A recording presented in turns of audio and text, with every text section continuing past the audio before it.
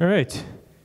Once again, I'm Mike Dolbow. I'm the GIS coordinator for the Minnesota Department of Education. I'm a Minnesota IT services employee, so we provide uh, IT work for the entire executive branch of the state of Minnesota.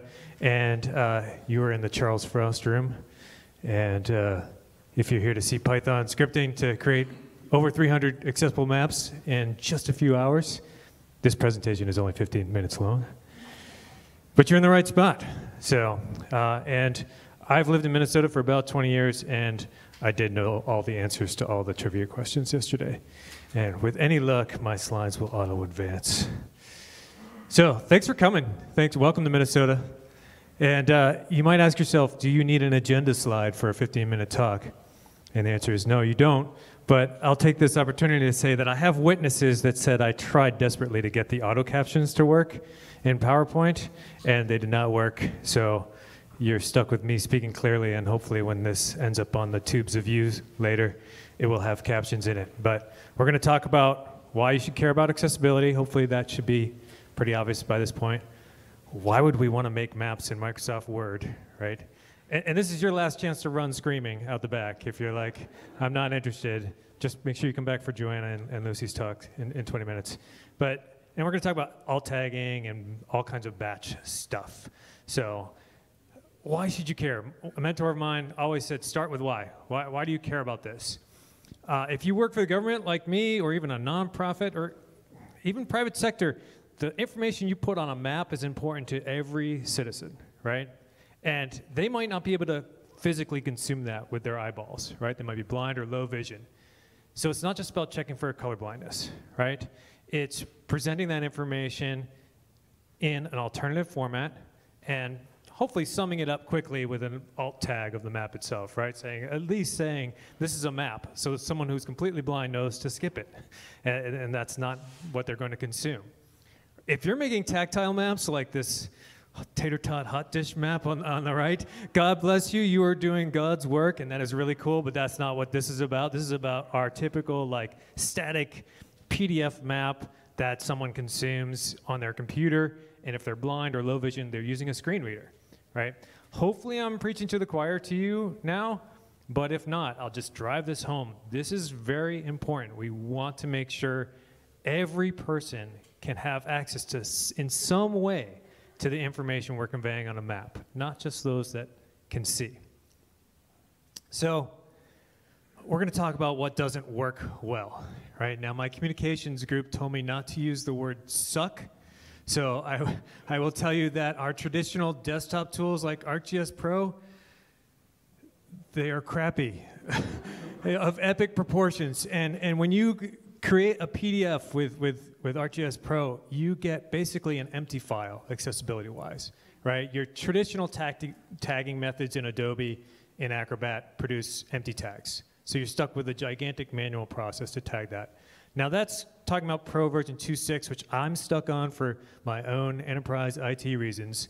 I saw some improvements, some serious improvements in 2.8, and I'm hopeful for 3, 3.0 and beyond. But I still see manual work at the end of it. It's, I still see PDFs that are not accessible when you run the accessibility checker. And, and that's a problem. And I, I hope that they'll get there one day.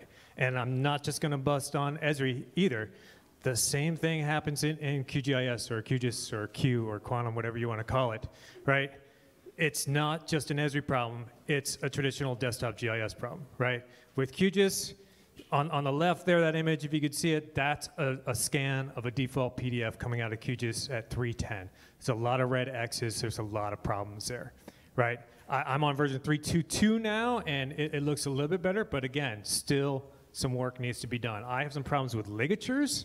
The, the Calibri font is like the default font for the state of Minnesota, and anything that has two L's or two T's is unreadable in the PDF when you export it to PDF. So that throws that font out the window. Do you know how many school districts have double T's in the names? know how many times I have to say attendance? So that's a problem, right? Now, what's so bad about doing a couple of manual steps, right? Well, if you're doing one map, no big deal.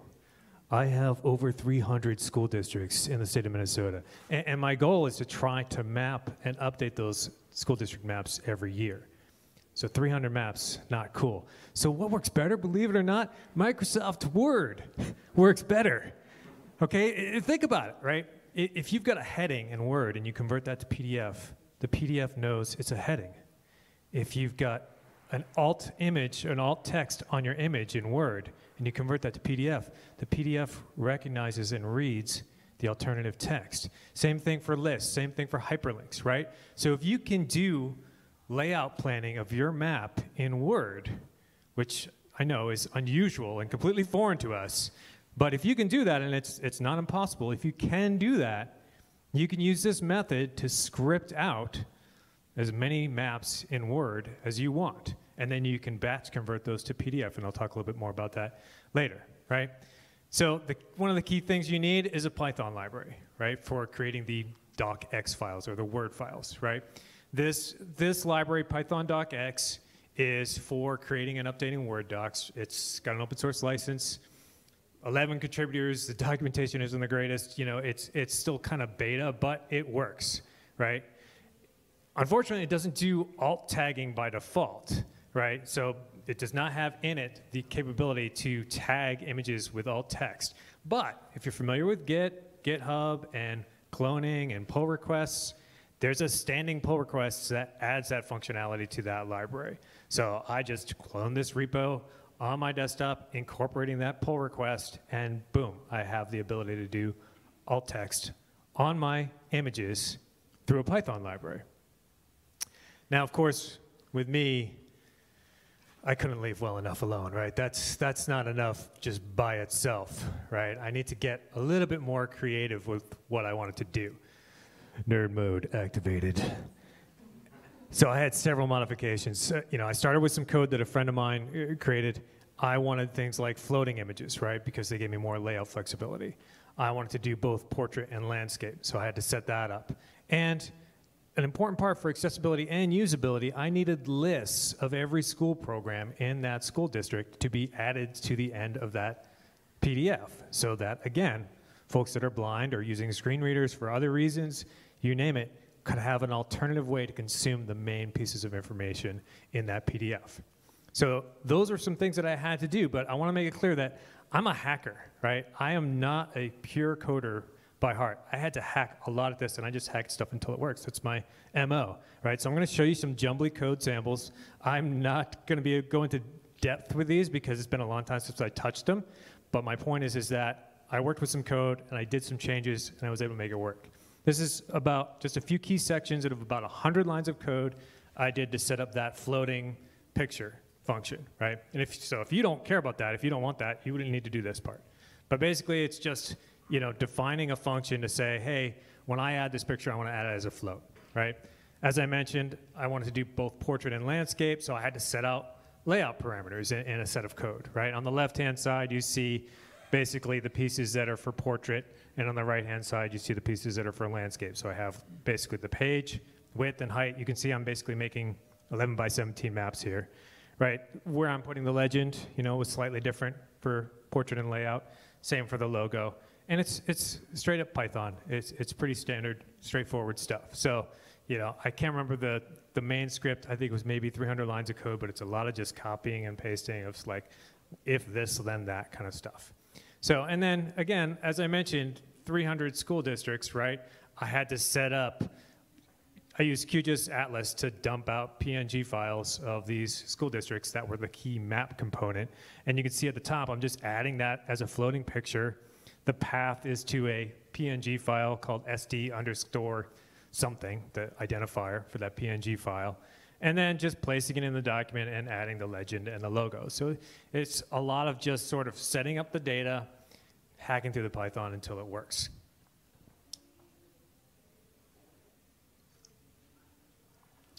Now, I've lived in Minnesota for about 20 years, and it took me about 10 years to realize that when I'm using the snowblower, I'm not doing that to get out of shoveling, right? I, am doing that to make the shoveling easier. And, and sometimes, sometimes it makes a mess, like, like what you see there with what I did to my mailbox, right? So the point is, is that code, like your snowblower, gets you through some of the hard sort of mundane, repetitive parts. You still have some work left to do. And, and that was the case here, right? So I end up, after running this code with a bunch of Word documents, I've got to batch convert those to PDF, of course. And that requires Adobe Acrobat Pro. I could only run about 80 on this little laptop before it would crash. Luckily, those 80 would be done, and I just move to the next set. Um, and then you have to have this sort of action in that conversion process that says, you know, set your open options of that PDF to display the document title. I mean, Word knows what the document title is. I set that in the code. Adobe doesn't until you explicitly tell it that, so that when you run through the accessibility checker, that's kind of the last thing. One of the th key things that the accessibility checker checks for is like, does this document have a title? I had to do that in Adobe to make sure that every one of those documents had a title that was recognized by the accessibility checker. Small thing, still part of the batch process, right? So I, even though I'm still doing some manual work, it's still all batch. So I still do not have to touch every single one of these PDFs. And I can tell you that at the end, you can go download them yourself. At the end, I end up with a PDF where the accessibility checker passes on all fronts. The only two pieces that are left as question marks are things that you would have to manually check, and that's on me. If I didn't do a good job with logical reading order or color contrast, that's, that's on me. So we're going to look a little bit at the maps before we wrap up, um, and then we'll have time for questions. But on the right, you can just kind of see a, a pretty simple school district map.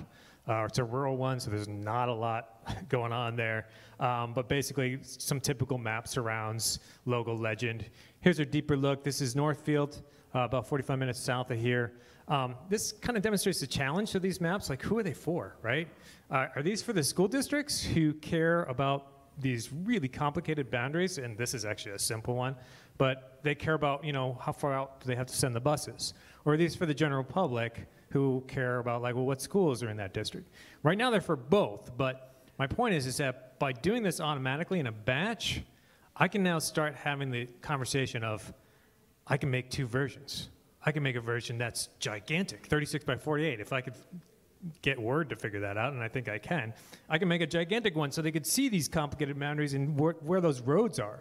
And I can make little squished 8 by 10s for the public, especially in districts like this where all the facilities are clustered in one area. I could do that. I could make three versions. Point is, is that this scripting, this batch process opens up so many possibilities for me that now my pipeline is my poor guy who has to load these into the, into the web content manager. Um, here's an example of a problem like if you have a cognitive you know issue with, with visually these labels there's, there's too much going on here. These, some of these maps are incredibly complex and there, there's way too much going on. You know the labels of the facilities are kind of interrupting the labels on the base map which is a whole other deal i have to work on. But my point is here is that's that list of school prog programs on the right that gets appended to each one of these pdfs so somebody, even if somebody's not using a, a screen reader, they can see like even more information that pertains to this district than actually appears on the map. And they can, so it's not just an accessibility improvement or an accessibility requirement, it's a usability upgrade as well. So, and again, scripting this, batching this means that, you know, if that list of facilities updates, and, and to be frank, it does update pretty much every year, more frequently than the boundaries do, I can do that with these maps. I can push these out. I've got them. And this is the last one I'll show you, just a very simple rural district where like, you know, three schools, big deal, right? But you can see some of those complicated boundaries in the south there. And again, these are some of the easier ones. Um, but it is what it is. So some resources here. I'll, um, I'll come back to this page in just a minute, so if you want to take a picture of it or whatever. Um, but I have a, a, repo out there that sort of demonstrates the accessibility problems with PDFs out of Pro and QGIS. Um, if I ever get to a higher version of Pro, I'll, I'll update that. Um, Minutes map accessibility page, which Amy talked about yesterday, that's really great resources. That's where you can get sort of the base code that I started from. Um, links to that Python library for docx creation and the, the pull request, the open pull request for that. And at the bottom, you can download these maps that I've been showing you. They're, they're much nicer when you download them and, and look at them on, on a screen, or, or I hope they look decent printed out too. Um, before I wrap up, I have some credits. Uh, Brad with the Secretary of State's office, he was here yesterday. Um, he was the first one in my circle that had this idea of using that, that Python library to use Word documents, and Ruth helped him package up that code. So if you download it, those two are kind of the key people to thank. And my colleagues Kim and, and Becky all folks here work for the state of Minnesota. Kim and Becky helped me immensely with checking my PDF files to make sure, yes, they did do what you want them to do. The logical reading order is working, and you've got things at the right spot on the tag tree and stuff like that. So, um, like a lot of our efforts, we stand on the giants of shoulders, right? So, and my time is up. Thank you, Hannah. Um, I will leave this up here. You can contact me. There's my email address, and you can harass me on Twitter if you want. And hopefully, we have a few minutes for questions. And yes, we do. Five minutes for questions. So I'll go back to that resources page. Any questions?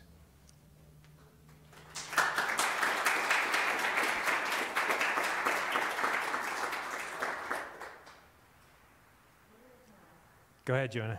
Uh, So first of all, very out of the box, love it.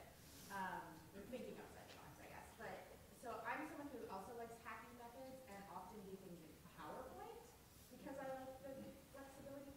Is, and I feel like it might have a little more flexible layout wise. Is there a library that's similar that could do same thing, it recognizes headings, recognizes lists, slightly different flexibility?